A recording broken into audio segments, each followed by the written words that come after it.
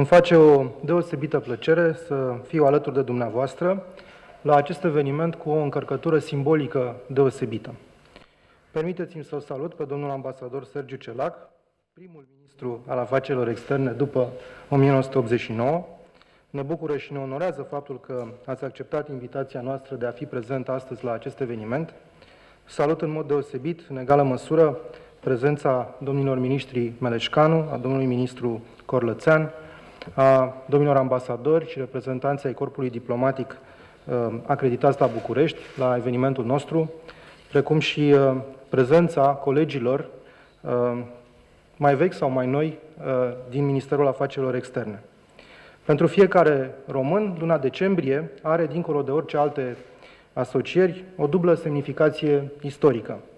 Sărbătorirea Zilei Naționale, și comemorarea evenimentelor care au dus la prăbușirea regimului comunist, anul acesta împlinindu-se un sfert de veac de la acea piatră de hotar din istoria noastră ca națiune.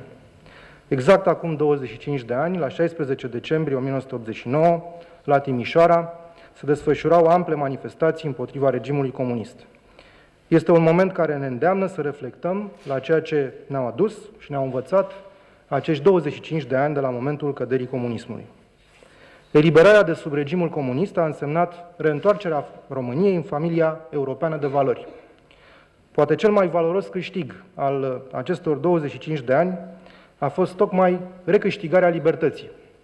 Libertății de a călători, libertății de a gândi, libertății de a ne exprima ideile, de a ne afirma oriunde în lume, de a ne croi propriul destin, atât cel personal, cât și cel de națiune.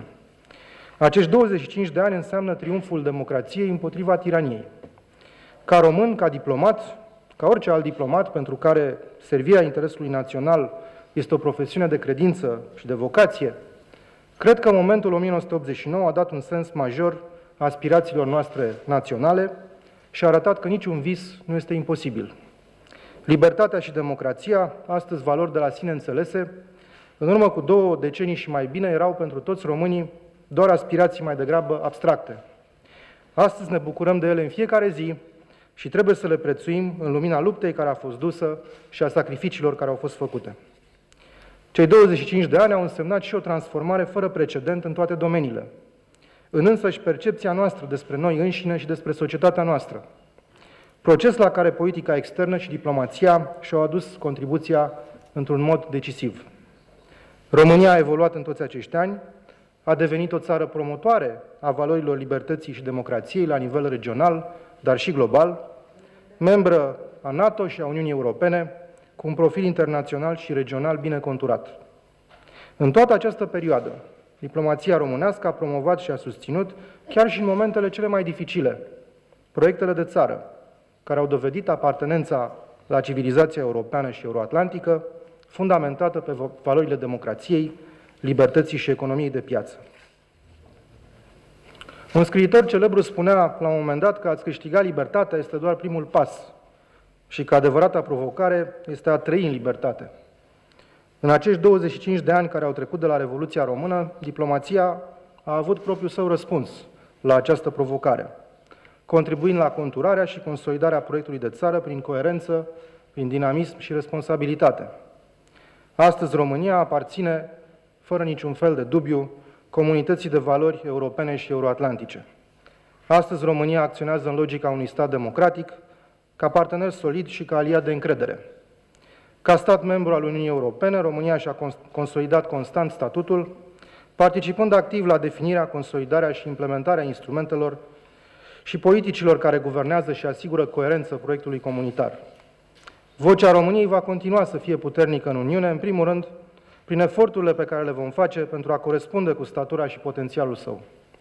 Ca stat membru NATO, România are cel mai înalt grad de securitate din istoria sa contemporană, cu efecte pozitive directe pentru stabilitatea democratică și prosperitatea societății românești. O securitate pe care o construim împreună. De aceea, de aceea rolul pe care România, o democrație tânără, dar activă, trebuie să-l exercite în continuare este acela de stat care contribuie responsabil la stabilitatea regională, furnizor de securitate și participant activ la politicile europene și globale. și vă asigur că diplomația română își va urma cu credință crezul său, semper fidelis patrie, și va susține activ și inteligent obiectivele de politică externă pentru ca România să-și aibă locul bine meritat în comunitatea europeană și euroatlantică. Doamnelor și domnilor, știm cu toții că rănile comunismului nu s-au vindecat ușor. De aceea este important să cinstim cu respect memoria celor care au luptat pentru ca noi să fim astăzi liberi. Este important că putem spune cu mândrie, după 25 de ani, că sacrificiul lor nu a fost în van. Și știm cu toții că viitorul se construiește prin respect față de trecut. Respectul pe valori, pentru cei care au făcut istoria, de aici vine și ideea centrală a expozițiilor noastre. Mărturia ale istoriei diplomatice, corespondența diplomatică din acele zile le veți regăsi în cadrul expoziției de documente pregătite de Direcția Arhive Diplomatice din Ministerul Afacerilor Externe, care îi mulțumesc direcție, evident, domnului Obiziuc și colegilor săi în mod deosebit.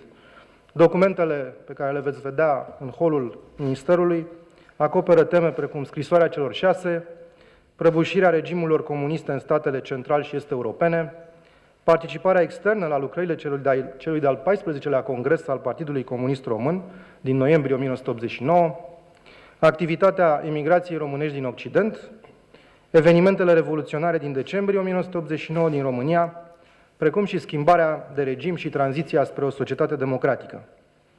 Expoziția relevă faptul că măsurile de reformă și politică, politică și economică adoptate în spațiul central și este european, care se succedau la acel moment într-un ritm continuu.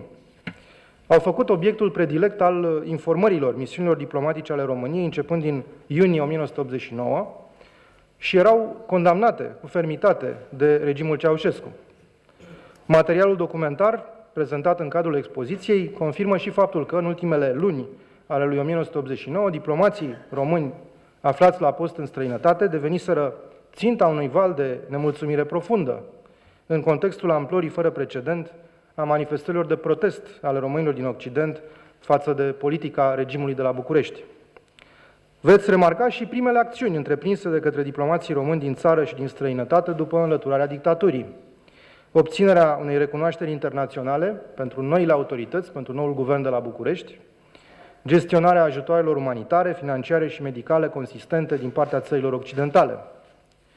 Pentru cei pasionați de istorie și nu numai, atrag atenția că în cadrul expoziției se găsesc și documente care au fost recent desecretizate la propunerea mea, datând din primele zile ale anului 1990 și care surprind și atmosfera plină de speranță, solidaritate și deschidere generată de sprijinul declarat al unor state precum Franța, Germania, Marea Britanie, Statele Unite ale Americii față de schimbarea de regim de la București.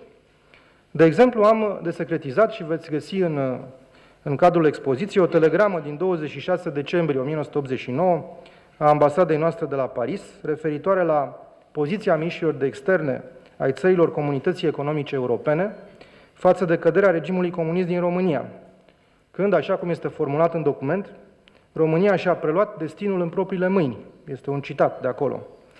Cuvinte cu greutate aparte, mai ales în această zi. Vă citesc din, din telegramă. Ceaușescu a căzut. Pentru a obține această victorie, poporul României a plătit un greu tribut.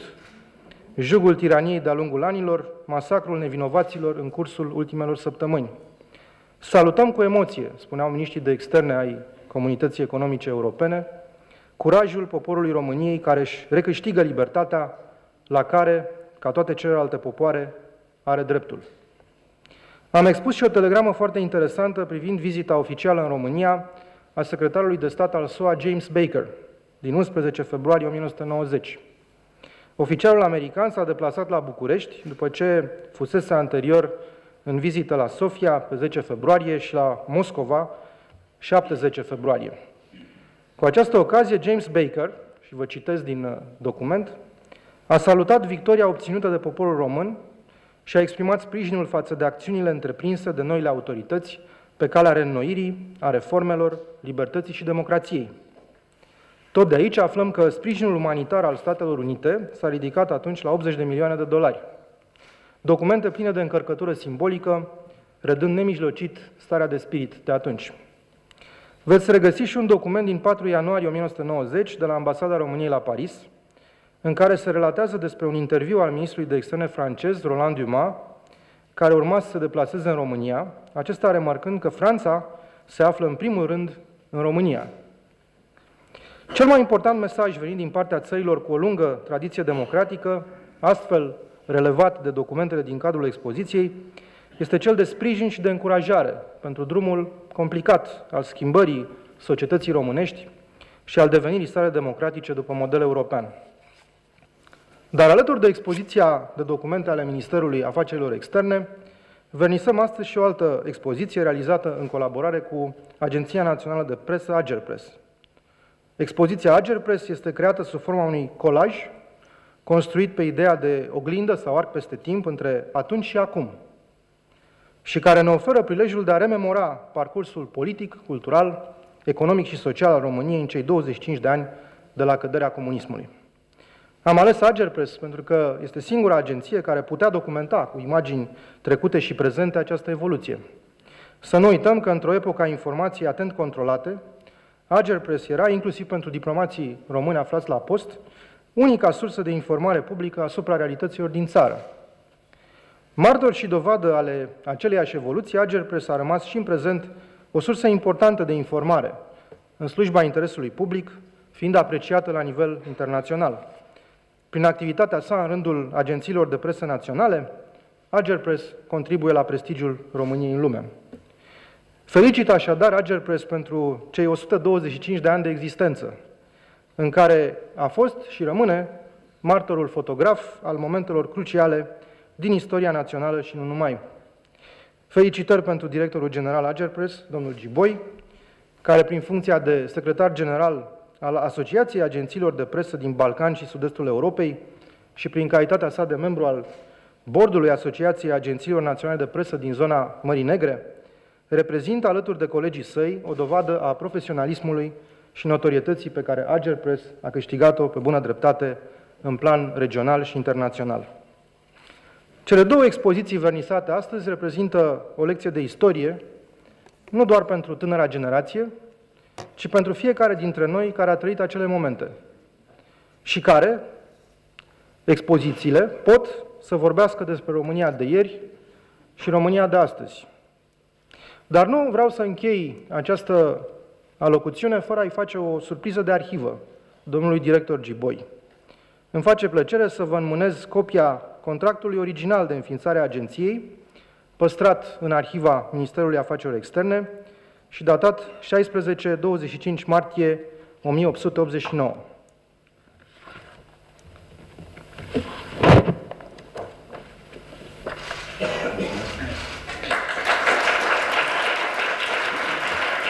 Acest,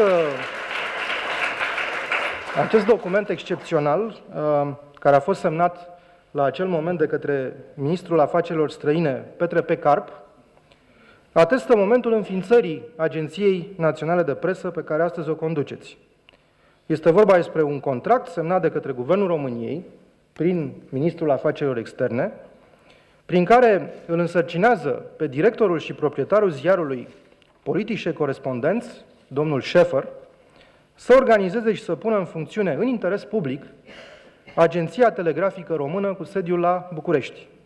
Printre destinatarii de peșilor agenției, veți vedea în în contract, uh, se numără Majestatea sa Regele, președinția Consiliului de Ministri, președinții Senatului și Camerei și, bineînțeles, Ministerul Afacerilor Străine. Veți vedea acolo tot felul de clauze interesante, cu unele n-aș fi de acord astăzi. Uh, este o clauză care spune că guvernul își rezervă dreptul de a cenzura anumite știri referitoare la politica internă și externă a României, fără îndoială că acest lucru uh, nu mai poate fi în niciun caz uh, acceptat uh, în ziua de astăzi. Este un moment emoționant pentru mine și pentru mulți dintre veteranii Ministerului de Externe. Când eram întrebat pe vremuri ce am făcut în timpul sau înaintea Revoluției, Răspunsul meu standard era eu am fost mase.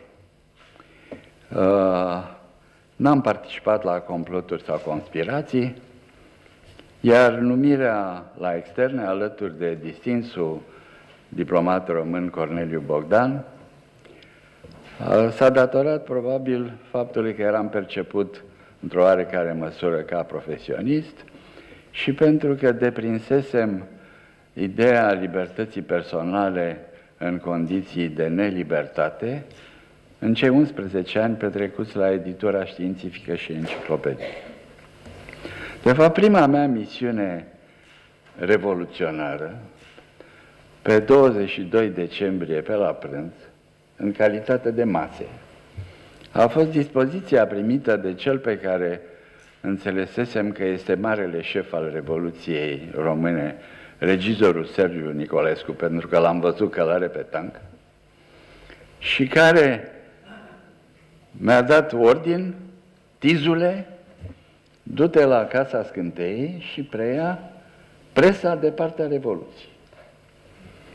Uh, indicație superfluă, pentru că întreaga presă scrisă română, inclusiv presa în limbi, din limbile, în limbile națiunilor conlocuitoare, era, bine mersi, deja ă, trecută cu arme și bagaje pentru cauza Revoluției, așa că m-am întors la televiziune cu, doar cu șpalturile.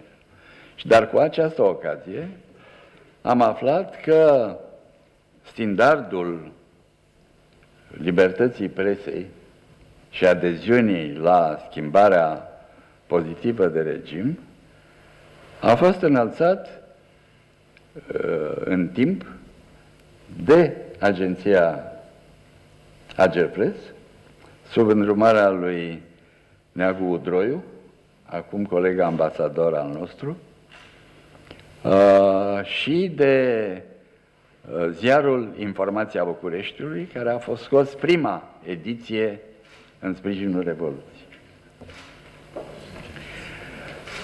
Evocarea rolului, cred, uh, crucial al uh, Agenției Române de Presă, Agerpres, în acele momente și faptul că am fost unul dintre primii părtași la observarea acestui rol, îmi permite să Uh, evoc acum un episod mai recent și să exprim mulțumiri publice doamnei Anca Pandea pentru sprijinul acordat în uh, elaborarea, alături de profesorul Dan Dungaciu, a unui studiu privind istoricul relațiilor româno-ruse, sovietice și ruse din ultimii mele două decenii și jumătate, în care personal doamna Pandea ne-a furnizat un ajutor uh, extrem de util. S-a întâmplat ca în noaptea de 22 spre 23 decembrie să scriu la rugămintea redacției săptămânalului Contemporanu un articol oarecum programatic avant la letră, intitulat să ne stabilim prioritățile. Și de fapt această idee a priorităților realiste a prezidat poate întreaga perioadă scurtă, dar foarte plină de evenimente și tensiuni, uh, care a precedat formarea primului guvern cu adevărat legitim în urma alegerilor din mai 1990. Uh, știam că avem numai la început știam doar de 5 luni, că alegerile erau programate pentru aprilie, și apoi 6 și încercam să ne dimensionăm prioritățile în funcție de ce se poate face și ce e important de făcut în acest interval de timp. Uh, vreau să vă spun că la preluarea încă neoficială la acea dată a mandatului de la Ministerul de Externe, am primit un sprijin real, concret și foarte substanțial din partea domnului ambasador Constantin Oancea, care preluase conducerea Ministerului de Externe după, după plecarea uh, ministrului Stoian. Iar loialitatea uh, corpului diplomatic român față de țară, față de statul român, nu a fost pus să niciodată la îndoială și este, bănuiesc, puternic ilustrată de exponatele de care, despre care ne-a vorbit domnul ministru Aurescu. M-aș referi în primul rând la prioritățile instituției Ministerului de Externe, așa cum le percepeam atunci. Uh, și după aceea să trec foarte pe scurt la substanță. Ne-am dat seama cu toții că prioritatea e, principală era asigurarea bunei funcționări a instituției. Într-o, în niște zile în care încă se trăgea pe străzi, erau taburi, tanchete peste tot, traficul era perturbat și realitatea de care ne-am izbit uh, încă de la început era că am constatat că cu toții suntem uh, destul de puternic traumatizați, unii chiar zdravă înzruncinați psihic. Din această cauză uh, am instituit obligativitatea unei Uh, un examen medical anual obligatoriu care să includă neapărat și un test psihiatric profesional. Iar când am venit uh, de la Londra după primul meu concediu, pentru primul meu concediu în țară, uh, m-a apucat râsul când mi s-a atras atenția din partea cabinetului ministrului că trebuie să fac acest test neapărat, pentru că nu știu ce nebun a decis chestiunea asta ca regulă. Uh, în plus, uh, Ministerul de Externe, care atunci era la Palatul Victoriei, era și sediul noii puteri. Și deci, asupra Ministerului de Externe a căzut greutatea de a asigura logistic cu personal, șef de cabinet, consilieri, servicii de secretariat, uh, întregul establishment al puterii primelor uh, săptămâni. Uh, în paranteză fie spus că primul fax pe care l-am văzut în viața mea, pentru că Ministerul de Externe nu avea în decembrie 89 nici măcar un fax, L-am primit cadou de la un prieten de-al meu din Italia. Uh, lucrurile simple arătau nemaipomenit de greu în acele condiții. Acum, rememorând uh, uh, situația de atunci, ne dăm seama cu ce ne băteam de fapt capul, care erau lucruri simple, dar care în condițiile dramatice de atunci deveneau extrem de complicate. Probabil că unul dintre lucrurile mai delicate de care ne-am lovit încă de la început a fost constituirea în cadrul Ministerului de Externe a unei organizații a Frontului Salvării Naționale, care era o ciudățenie din punct de vedere administrativ pentru noi, așa că am trebuit să ridicăm problema la nivel politic și până la urmă s-a renunțat la această ciudățenie destul de repede. În al doilea rând, problema resurselor umane era o problemă dificilă. Ministerul de Externe era grav depopulat, așa că am trebuit să facem apel la veterani, profesioniștii care fusese răscoși din minister pentru că divorțaseră sau pentru că li se descoperise o verișoară de al doilea în Noua Zeelandă. Uh, și deci trebuia să facem apel la oamenii care știau ceva meserie. Uh, multe dintre metodele folosite, prin virtutea împrejurărilor, erau oarecum neortodoxe.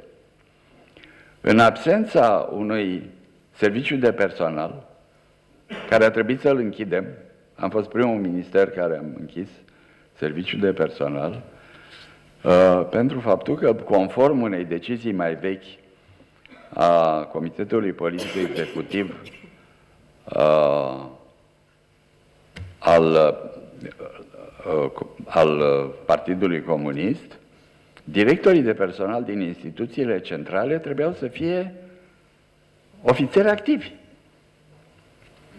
Și atunci am trebuit să recurgem chiar la rugămintea prin consultare a ambasadorilor de la București să verifice în propriile scripte uh, atunci când aveam intenția să trimitem pe cineva la post. Și am avut câteva cazuri la care au început să scripească beculețele din arhiva NATO. Uh, dar uh, principalele priorități, să spunem, aproape tehnico-administrative, dar cu consecințe, au fost uh, elaborarea pentru prima dată în Ministerul de Externe a statutului corpului diplomatic, lucru realizat cu strălucire de profesorul și colegul Ion Angel, uh, care a deținut atunci și uh, funcția recunosc copiată după Departamentul de Stat al SUA, de consilier juridic al Ministerului de Externe, nu al Ministrului de Externe. Cu drept de veto din punct de vedere legal asupra deciziilor administrației. Uh, un alt punct care privește activitatea Ministerului și s-a rezolvat atunci a fost salarizarea în exterior, care era scandaloasă, era la nivelul uh, unui șofer sau portar de la alte ambasade din țări uh, similare României și uh, s-a reușit pentru că uh, mai ne rămăseseră niște rezerve valutare, valutare din economisirile vechiului regim. Dar poate mai important era restabilirea by default, aș spune, din lipsă de alți combatanți, a capacității analitice și generatoare de concepte a Ministerului de Externe. Funcții care fusese rămutate la alte instituții, la secția externă a Comitetului Central al Partidului, la Direcția de Informații sau Departamentul de Informații Externe și la Secretariatul Comitetului Central. Acestea dispărând, vrând nevrând, am trebuit să preluăm și funcții conceptuale. Pe fond, ă, telegrafic aș menționa că la vremea respectivă exista încă tratatul de la Varșovia, exista încă Caierul, Consiliul de Ajutor Economic Reciproc, exista URSS ca stat și a mai existat încă un an după ce ne-am terminat noi mandatul. Și totuși, în februarie 99, Exact a doua zi după vizita uh, lui James Baker la București, cu care m-am întâlnit de altfel și la Ottawa, uh, a avut loc o ședință informală a miniștilor uh, din țările membre ale tratatului de la Varșovia, la Ottawa. Și atunci, cred că România a fost singura țară, alături de Polonia, profesorul Skubișevski, care am susținut legitimitatea și inevitabilitatea istorică a reunificării Germaniei. Asta se petrecea în februarie 1990.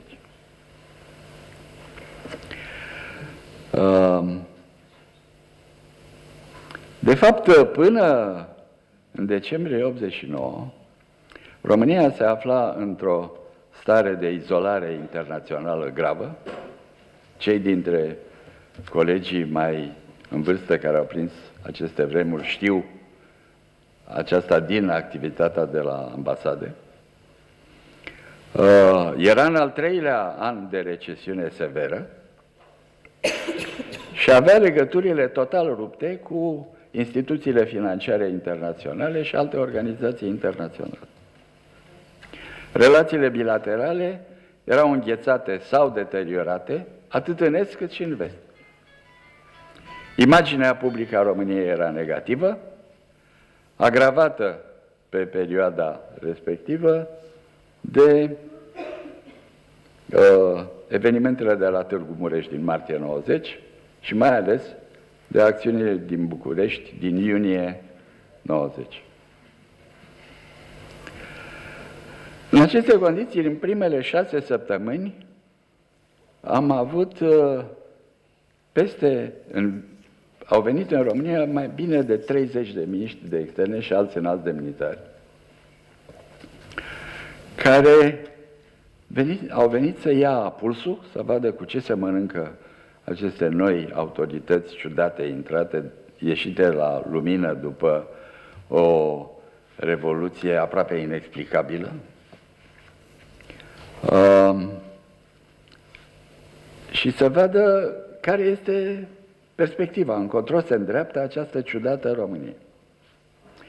Prin urmare, prioritățile pe fond în acel moment au fost primii pași spre restabilirea relațiilor, mai ales în organismele internaționale.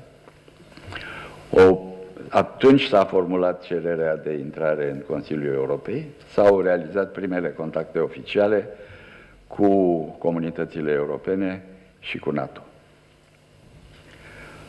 Uh, dar mai importantă era reechilibrarea relațiilor internaționale cu deschidere înspre toate azimuturile și corectarea erorilor constatate pe parcurs, revederea cadrului juridic al relațiilor, inventarierea problemelor rămase deschise de pe urma fostului regim. Mie îmi revine plăcuta misiune de a vă spune câteva lucruri despre istoricul uh, agenției de presă. Domnul ministru ne-a făcut o bucurie cu totul deosebită, punându-ne la dispoziție primul act care atestă uh, existența unei agenții de presă române. Ce n-a spus domnul ministru cu eleganță că Ministerul Afacerilor Străine la vremea respectivă era patronul nostru și că domnul uh, ministru Pepe Carp este cel care a avut inițiativa de a crea o agenție de presă în România uh, printre primele din Europa.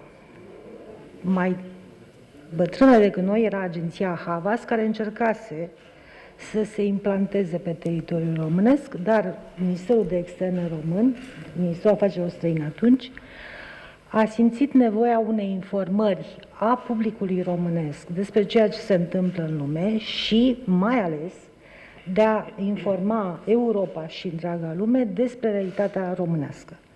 Această primă agenție, Agenția Română, care a început timid, într-o odăiță, a funcționat până în primul război mondial.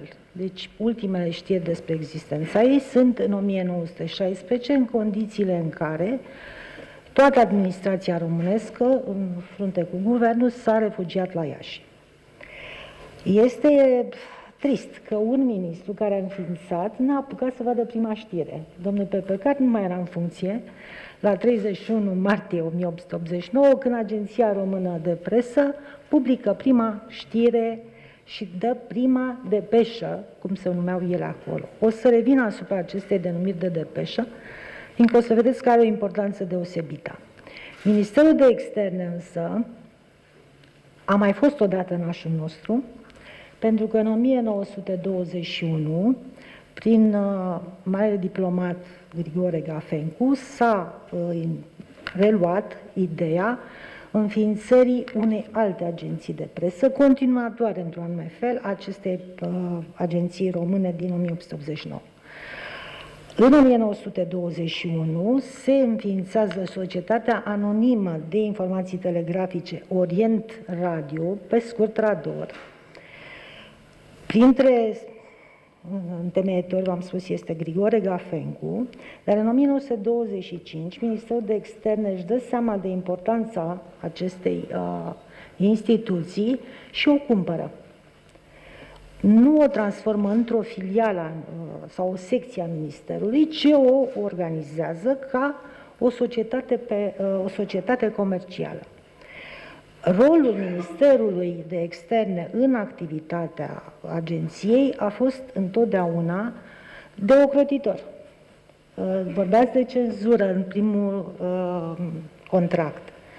În arhivele noastre există știri din 1928, noi avem, funcționăm din 1921 neîntrerupt cu știri, și există și fotografii din 1928. Singurele materiale pe care scrie chiar cenzurat sunt de perioada războiului. Cenzura în Agerpres, și o să revin cum s-a ajuns și la denumirea de Agerpres, nu s-a făcut decât în perioada războiului și există separat aceste materiale și după 1949, când uh, radorul practic își încetează activitatea și brusc, în, de pe un moment pe altul, se transformă în agenția de presă Agerpres. Practic nu există niciun moment de disfuncționalitate. În același lucru se va întâmpla și în 1989, domnul ambasador vorbea despre comunicatul pe care îl aveți și noastră în mape, de la ora 15, când ziariștii agenției de presă AGPS au hotărât că nu se mai supun niciunui unui fel de presiune din afară. De altfel, a fost o inițiativă a colegilor mei de atunci, în frunte cu domnul Neagu Udroiu, care a fost după aceea și uh, ales director. Domnia sa ne-a condus uh, un număr important de ani, după care a fost colegul dumneavoastră în Ministerul uh, Afacerilor Externe. Cenzură, după cum unii dintre noastre știu, a existat și o direcție de cenzură care s-a desfințat la un moment dat. Din păcate, și asupra agenției a funcționat până în 1989 ceva mai trist, autocenzura. Nu există știri cenzurate în Agerpres, dar există un anumit ton al știrilor de până în 1989. Am pus special în mape ca să vedeți diferența de la o zi la alta. Unele sunt din noiembrie, de la Congresul 14 și imediat după 22 decembrie tonul se schimbă și limbajul este altul. Revin la ceea ce v-am spus cu depeșa de presă. Uh, istoria agenției este și o istorie a tehnicii. Pentru că inițial a existat telegrama de presă, de aia știrea de agenție are forma unei telegrame. Nu este un material jurnalistic obișnuit, pentru că agenția trebuia să fie chiar lângă o poștă. Și de la telegraf, noi avem știri pe care scrie de la poștă numărul de cuvinte, scrie legațiile. De la telegraf am uh, evoluat și am transmis știri prin telefon. Și avem consemnat în 1938 prima convorbire telefonică a regelui Carol al II-lea și abia după aceea și știri pe știrile noastre scrie transmis prin telefon.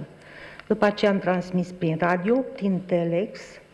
Prin telex am transmis foarte mult și după Revoluție. Mă gândeam la ce spunea domnul ambasador cu faxul, nici nu ne puneam, nici nu ne gândeam la fax. Și abia după 1995 s-a introdus și în agenție sistemul informatic. Problema agenției și a oamenilor din agenție întotdeauna a fost că ei sunt ziariști care n-au semnat. Semnătura lor a fost semnătura agenției. Din uh, acest motiv a existat o oarecare nemulțumire la nivelul colegilor mei.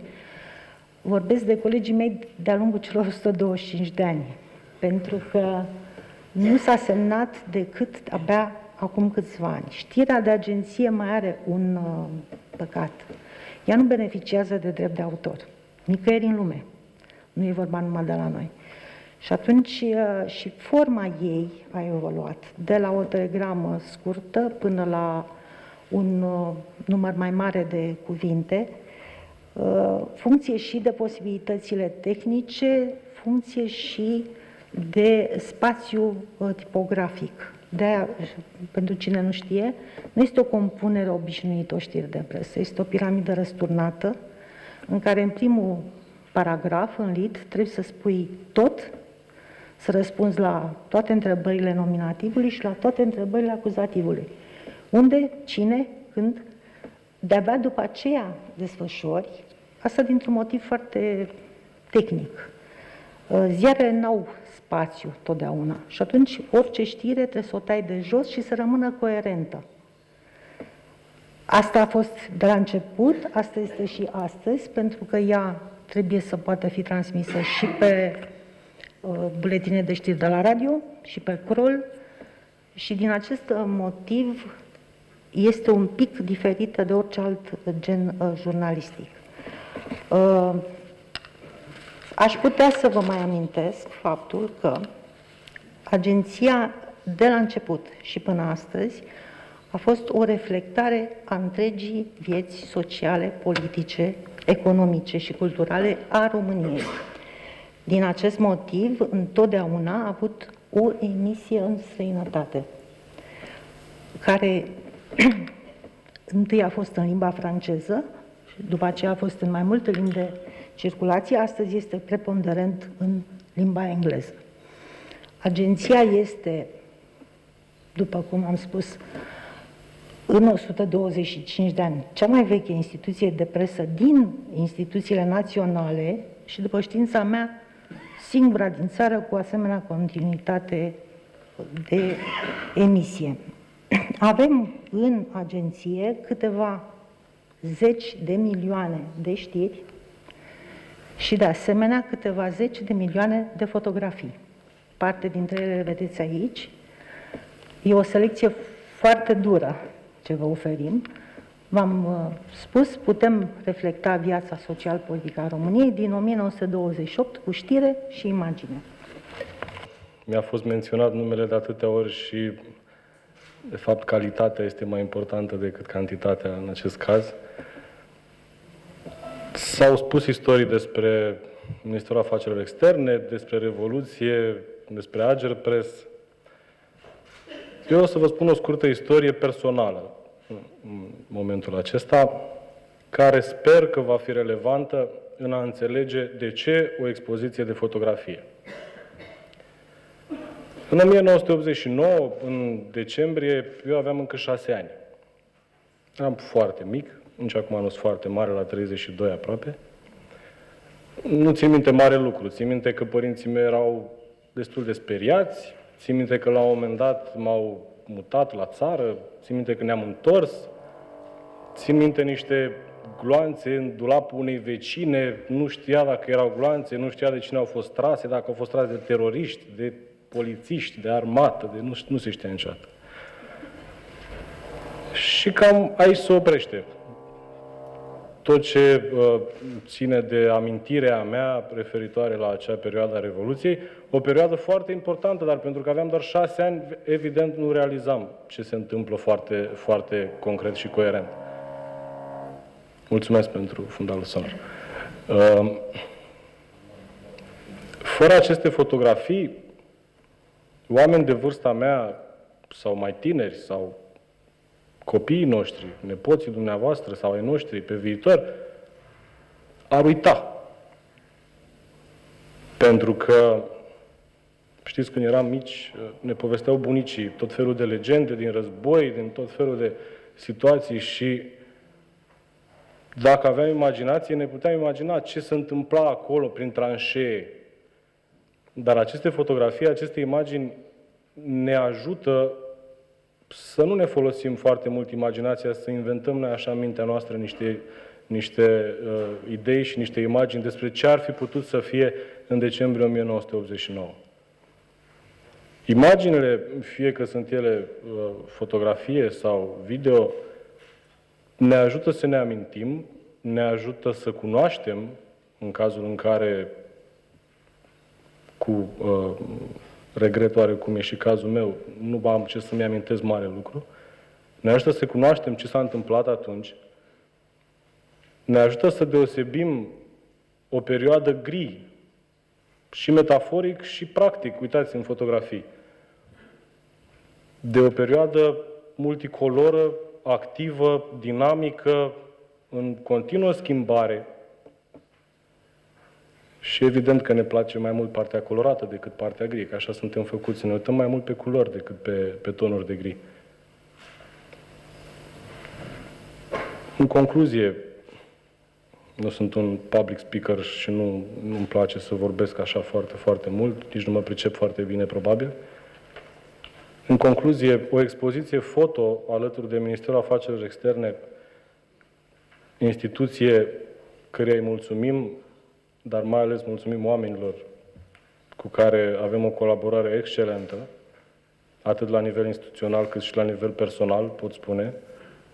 Am descoperit în mai prieteni noi și prieteni vechi, prietenii vechi să știu ei, și uh, sunt foarte, foarte mulțumit că am reușit să avem această expoziție împreună, care va rămâne aici și va povesti la rândul ei despre o perioadă care a fost, de fapt despre două perioade care au fost, pentru că peste câțiva ani și pozele acestea colorate vor deveni istorie la rândul lor. Poate peste câțiva ani o să facem o expoziție de holograme sau cine știe ce o să mai facem. Ceea ce știu este că peste două zile vom lansa un e-book, noi Agile Press, cu uh, fotografii plecând de la Revoluție și uh, oprindu-ne acum. Are și un titlu sugestiv, Revoluție după Revoluție. Vă mulțumesc, domnule ministru, doamnă Pandea, mulțumesc mult. Domnule ministru, la fel, vă mulțumesc foarte mult. Am învățat multe din, din uh, ce s-au spus aici astăzi de, de către uh, antevorbitorii mei, multe lucruri pe care nu le cunoșteam, multe lucruri pe care mi s-au clarificat. Și nu-mi doresc decât să fim aici peste 25 de ani și să vedem ce mai facem atunci. Vă mulțumesc frumos!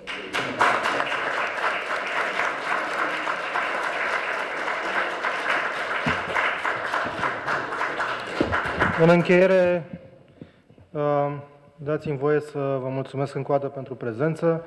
Uh, vreau să-i mulțumesc uh, domnului director general Giboi, vreau să-i mulțumesc doamnei Pandea pentru foarte interesantele um, informații despre începuturile um, Ager Pressului.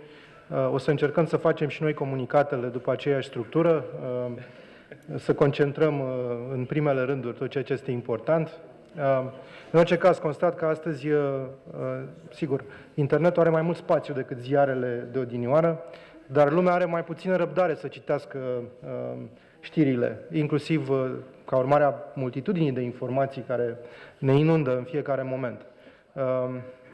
Îi mulțumesc domnului ministru Celac pentru, pentru amintirile pe care le-a împărtășit nouă tuturor și pentru sfaturile foarte, foarte bune și practice pe care ni le-a dat. O să preluăm o parte dintre ele. Nu mă gândesc însă la cea cu uh, desfințarea departamentului de personal, deși suntem uneori tentați în minister, uh, și nici la controlul psihiatric, deși s-ar putea, sunt unii care spun că ar fi nevoie, uh, mă rog, cel anual. Da. Bun.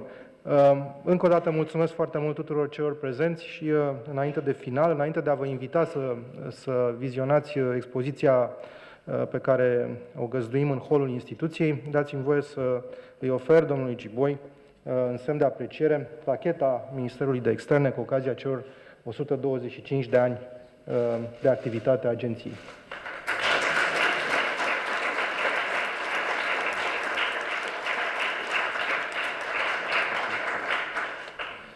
Vă invit la vernisarea expoziției.